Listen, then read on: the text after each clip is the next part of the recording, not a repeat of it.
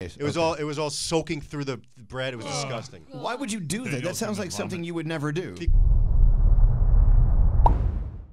It is the 15 Minute Morning Show podcast. Hello, everybody. Oh. There's Froggy. We got a full house today, except for Nate. Nate is off for a few days. Well, there's Froggy, and there's Scotty B, and Danielle, and Gandhi, and Scary's chewing on some food. And there's Garrett. Garrett. and uh, here we are all. Here we are all. Here we all are. There. Sentence structure. What are you eating, Scary? I was chewing on the granola at the bottom of this yogurt cup. That um How that many did you have? I had two. yogurt I had cups. three. I had two. Wow. I had two. They're Wow. tiny. They were Were little. the- they were tiny. Were they that good? Yeah, they were really good. they were very different. I'm not a yogurt guy, but this was sweet and awesome. Did you see? So the- what do you guys what do you guys want to cover on the show today? You- Garrett, you, maybe what you're about to say will give us topics. well, did you see the text that came in late in the show uh, because Danielle was talking about yogurt and someone said, "I find it interesting that Danielle can eat yogurt but can't eat mayonnaise, but then she can't drink milk but she eats yogurt." Yeah, I can. I can eat. Yo- I can eat yogurt, but if I drink a straight glass of regular milk, pooh, do not even come a calling because I will be. Well, that's Okay. dairy. That's dairy in its purest form. it's yes, milk. that's awful. Duly noted. But mayo and, and Look, yogurt though, look- it's almost like the same texture. no, it's not.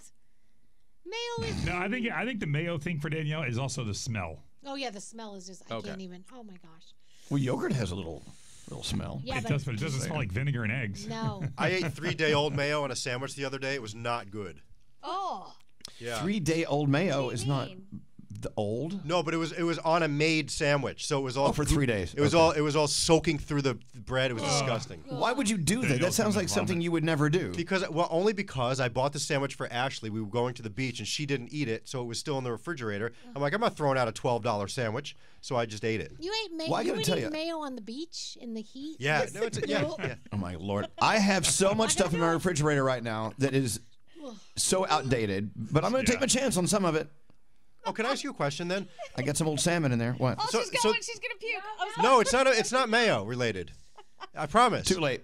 Take a breath. Too late. So we have a we have a refri- uh, freezer in the garage. And the other night, Ashley had her friend over. You know, they were being careless as usual, and they left the freezer open just a little bit, so it wasn't sealed, but everything in there defrosted, but it was still cold. If I closed it and it remained and it refroze, is it okay? It depends on the, the food. I think it's all different. They're all Well, different. there was they? corn ravioli in there from Odeon, and I don't want to lose that. Ooh, I would eat that real fast. Okay, Yeah. Also, it depends how long that door was open. it was open right? all night long. Oh, mm. So there was ice cream in there that, that was still in the container, but it was just soft. So it's now it's refrozen. Right. but Well, was it this is- soft or was it like soup? Soft. Well, but this is when start, stuff starts to get crystals on it and things like that. When Yeah. you, I don't know. This Then I'll just give it to my dad. oh my god. okay. Do that. Yeah. He's cheap. He'll love it.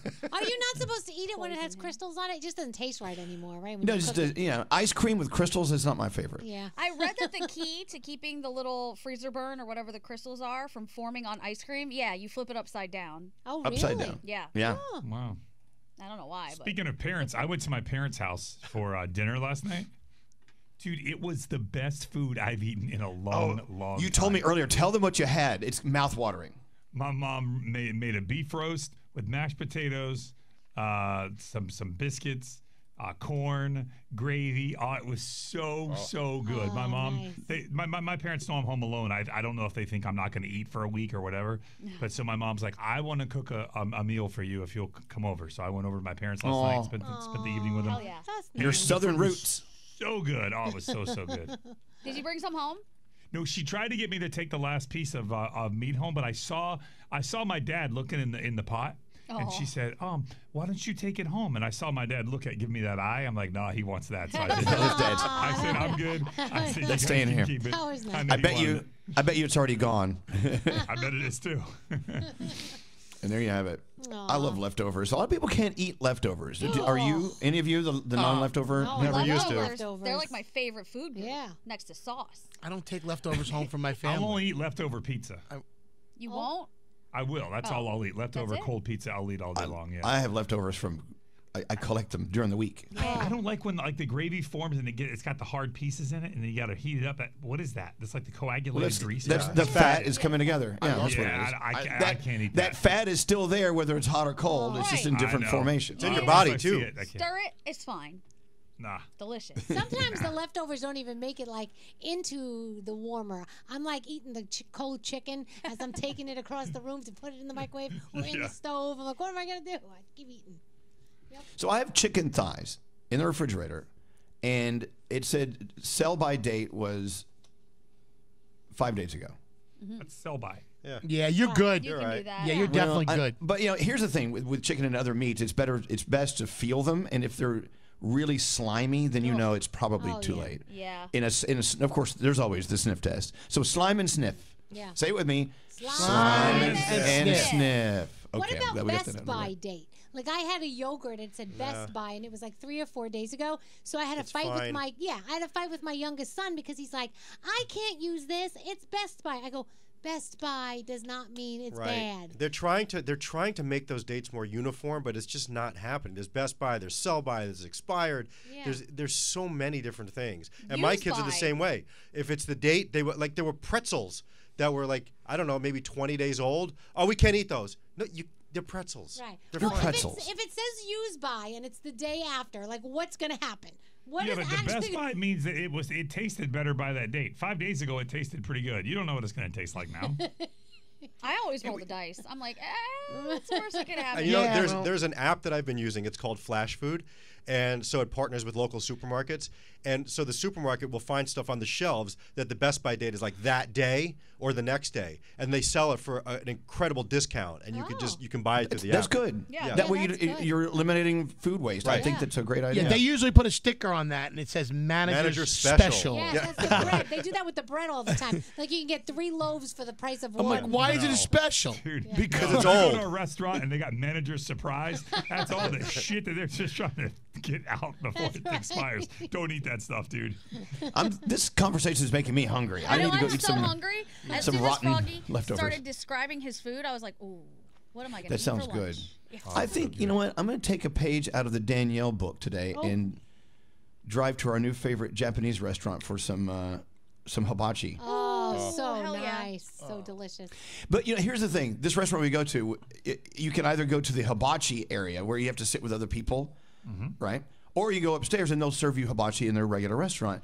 Hibachi to me is such a social event. Going by myself, even though I could eat dinner by myself at a bar, eating dinner f- f- by myself at a hibachi show, basically, I don't know if I can do that. Well, Oh my all- God. Yeah, Yeah, it's awkward different. because at that table though, like you, you, you have families of like four or six, so you're the guy like right in the middle. You know? Oh, what I they mean? actually Like- put you, they stick you with the people. Oh, because they're not going to open up a grill just for you. That would be I don't odd. think so. No. Oh my God, I never thought of that. Price Or you have right, to sit though. all the way on the corner when everybody else gets to join in. Yeah, Exactly, of it by because it's not like you're just sitting at a bar and drinking and having a hamburger.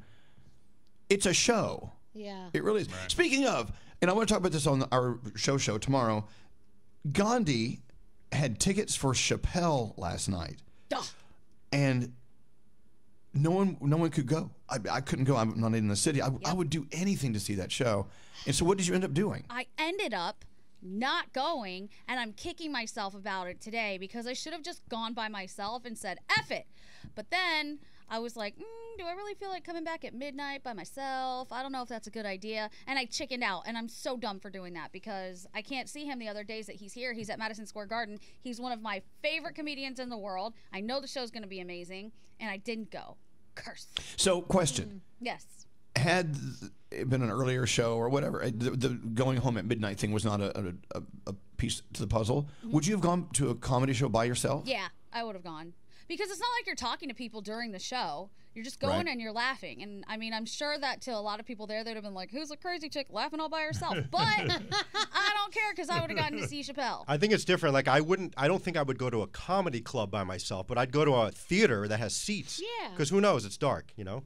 So is the comedy show. Yeah, but they could see you sitting there by yourself, and they. You And know, then, Who's they, they? and then they Square find you, and they're like, then they start razzing on you. yeah.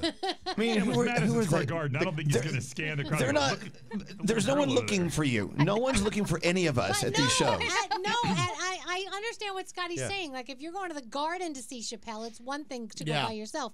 But if you're going to like a place where they serve food and alcohol and Oh, you're yeah. sitting, they may be like, "Hey, you little girl who's by yourself. What's the matter Right. with you?" You know, like and pick on you. Well, that was the. I'd rather get razzed by myself than get razzed by so- with somebody I know, so that they get to see me getting picked on too. Right. You know, Go that was the interesting dynamic at the Matt Rife show the other night in Atlantic City. Um, he played an arena. So he was at this arena. You know, he really couldn't do the crowd work. He's known for comedy clubs and going back and forth and being extremely laser sharp and quick doing improv and and right there with, with, with people. So I kind of, you know, I felt like he might was at a bit of a disadvantage. He still had an amazing act, but um, you know, when you're on a big stage like that and the lights are in your face, it's hard to get that closeness to the people in the, you know, if you're that's true. You strong lose suits comedy there. clubs, yeah. And typically, when you're on in an arena, you can't even see the front row because the lights are always so Yeah. bright. Yeah. Hey, well, look. Uh, thanks for the invite, though, Gandhi. I You're know that.